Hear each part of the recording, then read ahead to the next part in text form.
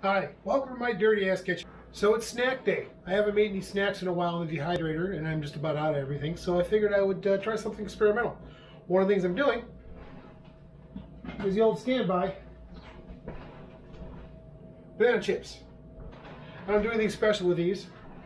I literally just slice them up with the uh, mandolin slicer and drop them on the tray and dehydrate them at uh, low temperature, somewhere around, uh, I would say about 125, four or five hours. These are a little bit thinner than I normally go, so I probably won't need nearly as much heated time, which is a good thing because the other thing I'm doing today is I'm making um,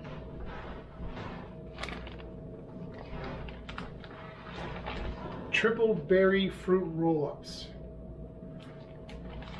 Just don't pay, pay no attention to the logo.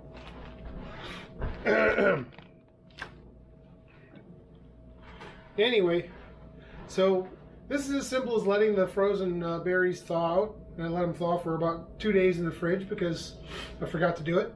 And throw them in the blender and let it rip. So let me show you what the blender looks like. I'm just going to put this on. I, I worked my way up from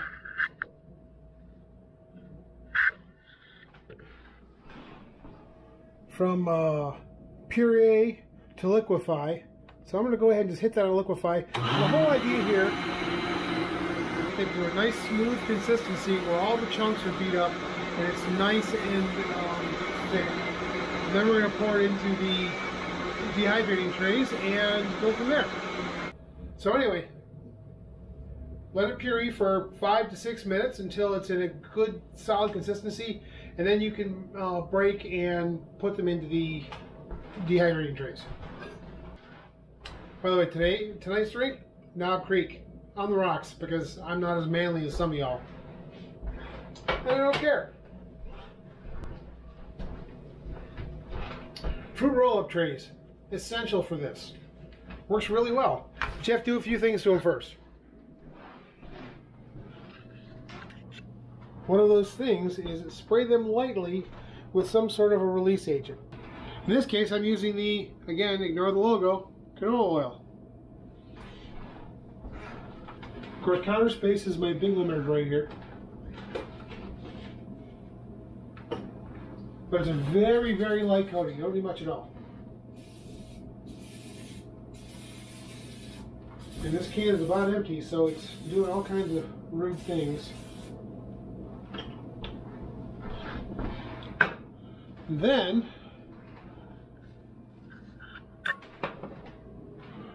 and then we're just going to pour it into the mold.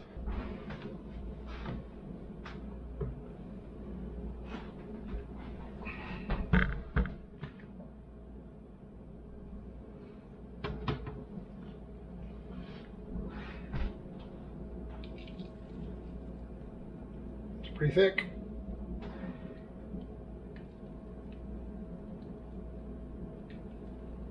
Making a giant mess here.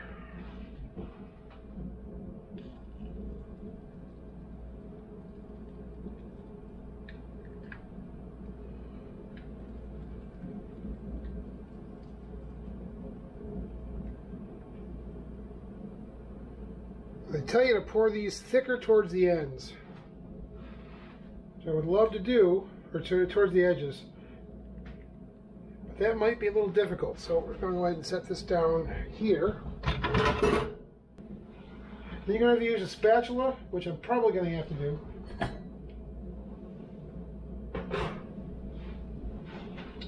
Combination of spatula and motion. Now for the spatula, I typically use a silicone because it does stick less.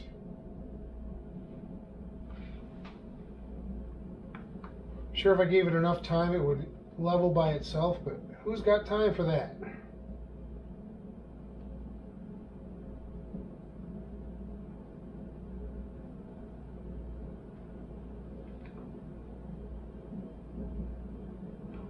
That looks pretty good.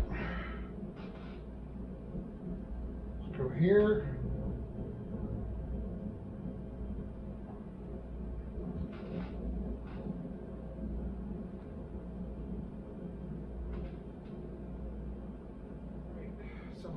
First four.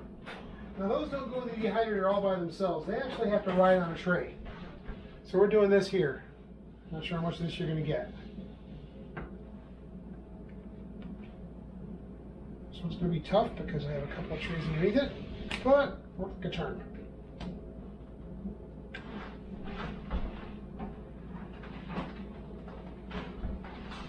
Which means I've got two extras.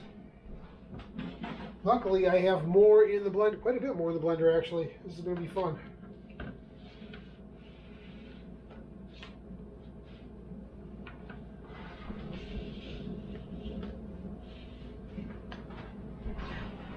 I wonder if cherry roll-ups will work. I have a lot to work with here. This one may take a lot longer to dry because I'm going to pour this one thick.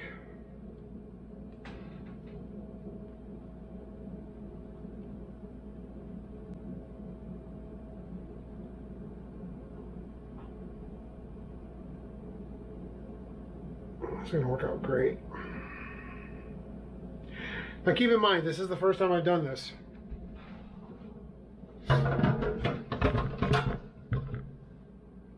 And I actually do have some left over, but we'll see how this works out. These are the thick ones.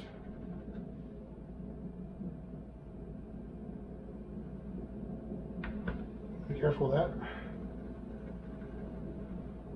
So these will obviously take a lot longer to run.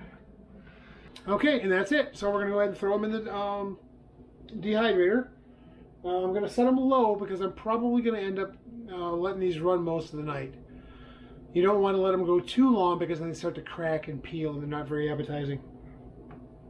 Also, I just realized that the last two I did, I totally forgot to spray those with uh, canola oil. So we'll see how they come out. All right, see you in a few hours. Good morning. It's uh, 6.30 a.m. and everything's been dehydrating overnight. Um, at this point, we're going to take a quick look at what's going on and see if any of this is ready. As you can see, we're running about 110 degrees Fahrenheit, give or take. Obviously, it's a dial, so it's not going to be as accurate as digital. And we can see that we're getting some cracking now, which not good, but it's also still not dry, which means it's got a long way to go. So to get the consistency that I'm looking for, I may have to do some reprocessing, and it's actually a simple process. Um, one of the things we can do is uh, add some more water to it, and once we have water in it, uh, uh, mix up a little bit and then and re-dry it. It helps to redistribute everything. One of the things I learned with um, apple fruit roll-ups is to get best result is to actually cook the fruit first. Um, I didn't do that with this. I simply took it out of the bag because I figured it would already be pre-cooked, but that may have been a mistake. So if this is a complete failure, we'll have to try again in a couple days. Um, you're probably wondering about the bananas. Bananas. Those are clearly done.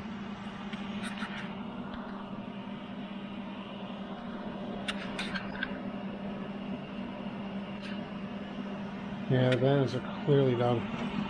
So we'll pull those out, let them cool, and uh, then package them. All right.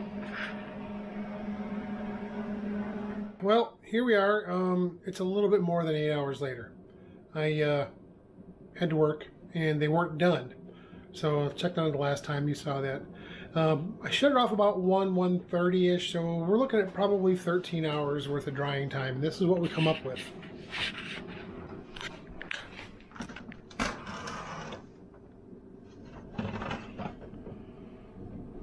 It's dry, it's golden, it's dark. A little bit cracked, like I said, but it seems to be holding together surprisingly well. And somebody may have tried some of that.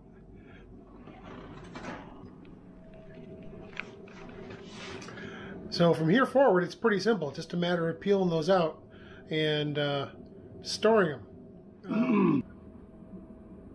so here we are. We're going to see if we can't get these uh, pulled out of here. The flexible trays, it's usually a little bit easier. And of course, if you properly spray it, oh, it might actually be easy.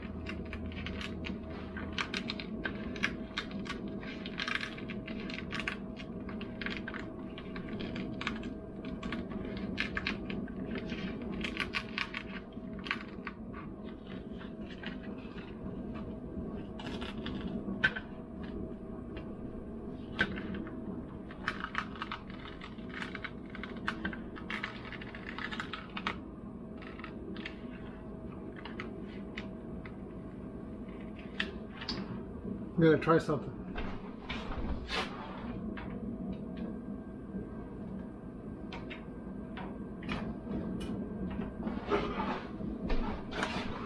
Silicone spatula.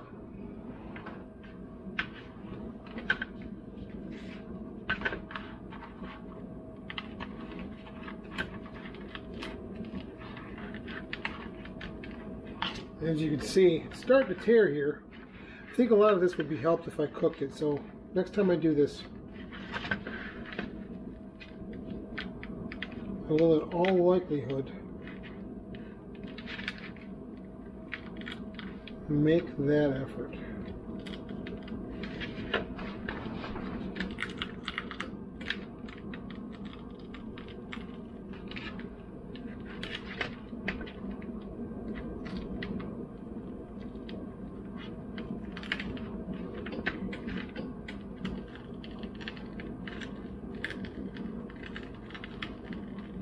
There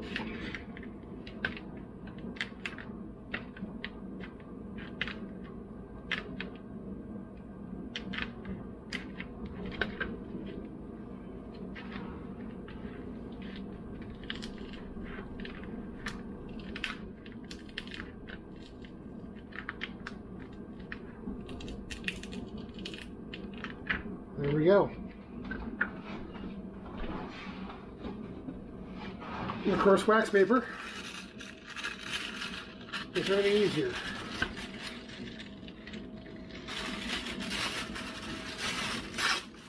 Realistically, you can get away with a lot.